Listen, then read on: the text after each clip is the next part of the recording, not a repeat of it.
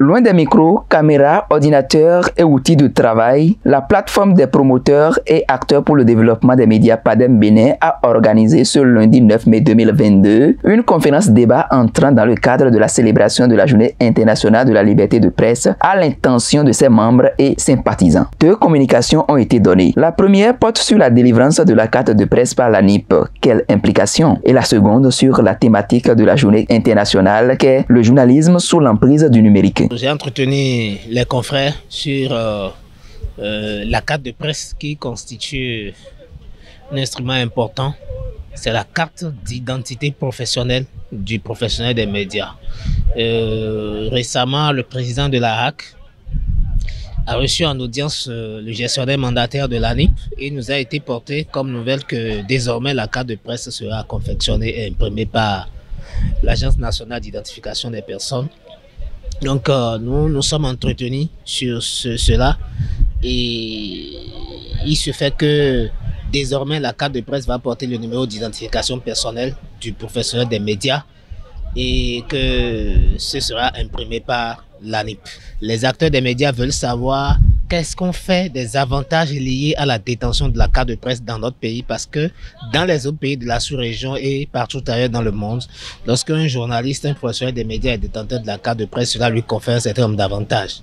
Et à cela, nous avions travaillé en 2012 et ce que nous avons fait a abouti à la prise d'un décret par le président Yaïboni à l'époque le décret 2013 393 du 30 septembre 2013 portant jouissance, conditions de jouissance des avantages liés à la détention de la carte de presse. Mais nous avons constaté que depuis 2015 que ce décret est en vigueur, rien n'est fait dans ce sens. Et donc le journaliste professionnel aujourd'hui dans notre pays qui est détenteur de la carte de presse n'a aucun avantage. Donc euh, j'en ai profité pour porter cela à la connaissance des confrères, que nous puissions faire un travail dans ce sens et aussi faire comprendre au pouvoir public qu'il y a un décret qui est en vigueur et qui porte sur les avantages liés à la détention de la carte de presse. Et que nous aurions bien voulu que, à l'occasion de cette première expérience que nous allons vivre très prochainement, que la carte de presse sera euh, biométrique, qu'on puisse faire accompagner cela des avantages liés à sa détention. J'ai partagé avec les, les confrères mes expériences sur le numérique, bien sûr, et comment s'y prendre pour bénéficier de l'effort fourni. Aujourd'hui, quand vous faites euh, le point, vous allez vous rendre compte que la version papier aujourd'hui du journal est en voie de disparition. Certes, il est vrai que ça ne peut jamais disparaître, d'autant plus que quand vous prenez les grands quotidiens, l'équipe, Le Monde euh, et autres, France 24, ça existe dans tous les formats. Ça veut dire que la presse aujourd'hui est, devenue plurielle.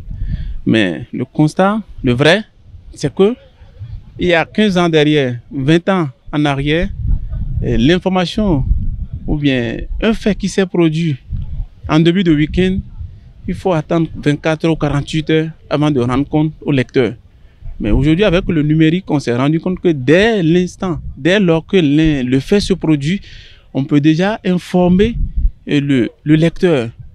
Donc, à partir de cet instant, ça s'impose à nous, d'autant plus que si tu dois attendre 24 ou 48 heures avant de rendre compte, c'est que l'information est déjà tuée, il n'y a plus de suspense. Donc c'est à partir de ce constat que nous, on s'est lancé dans le numérique. Et pour vraiment gagner, il faut beaucoup de facteurs. Il faut la patience, la persévérance. Toutes les occasions sont bonnes à saisir pour réclamer ses droits selon Noël Alagbada. Il ne faut pas hésiter à avoir peur d'exprimer ses idées. Quand on a ses idées, qu'on soit journaliste, qu'on soit promoteur, et qu'on a à cœur eh, le développement et l'enracinement des médias, surtout de la liberté de la presse, il ne faut éviter aucun débat.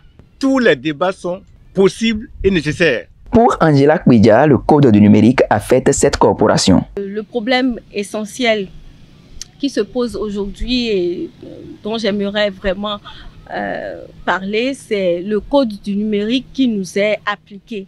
Moi, je pense que euh, ça doit être toujours le code de l'information et donc, c'est les associations qui doivent trouver les moyens de contraindre les politiques à respecter leur engagement pour une euh, liberté de la presse dans notre pays. En ce qui concerne Aboubakar Takou, il n'y a que les journalistes pour défendre leurs droits. On vit depuis un certain temps le 3 mai comme s'il ne s'agissait pas de notre jour de réflexion, de notre jour où on doit mourir et renaître le même jour.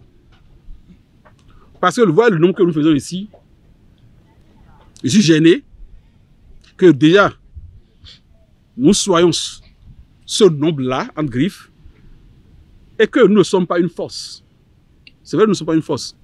Et tout ce dont nous sommes aujourd'hui objets, l'oppression des pouvoirs publics, des politiques, ce n'est pas leur faute. Hein. C'est notre faute. Parce que nous n'avons pas voulu prendre conscience du potentiel qui est le nôtre, de la force qui est le nôtre, de, du quatrième pouvoir dont nous affuble. Mais en fait, nous sommes déjà le quatrième pouvoir. Mais nous l'ignorons. C'est pourquoi, de temps en temps, si on peut trouver les moyens de nous réunir pour penser à nous, parler de nous, et nous mettre dans un cocon de solidarité, je crois qu'il n'y a plus de politique pour nous opprimer. Il n'y a plus de pouvoir pour nous opprimer. ils ont besoin de nous et ils savent nous utiliser. Mais nous ne savons pas nous utiliser nous-mêmes pour aller de l'avant. Et nous sommes leurs victimes. On se plaît dedans, oubliant que nous sommes la vraie force. C'est le moment qu'on se dise la vérité et qu'on prenne l'engagement pour mettre dans la solidarité ce contenu, ces sèves dont nous avons besoin pour triompher devant nos oppresseurs. Le président de la PADEM Bénin, Basile Tibozo, s'est dit heureux de voir les acteurs des médias répondre présents à cette séance de réflexion sur leurs conditions de travail.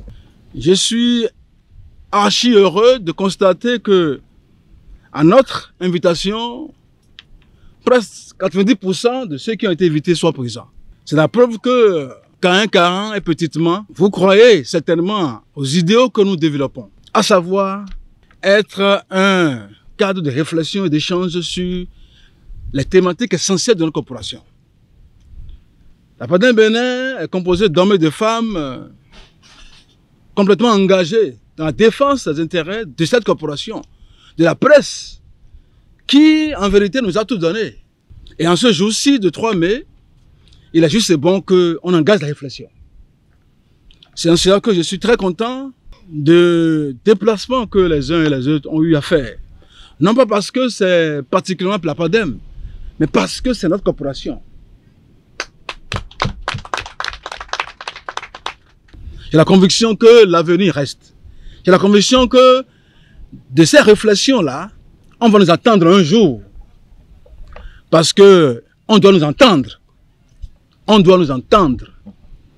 Mais si nous nous taisons, personne ne nous entendra. La question de la confession de la carte de presse a occupé la majeure partie de la causerie. Avant l'étape de distraction et de collation, les confrères ont posé des questions de compréhension sur la procédure d'obtention de la carte de presse. Cette réflexion sur ces deux thématiques est la troisième d'une série d'activités qu'a organisée la PADEM Bénin soucieuse de l'avenir des hommes des médias.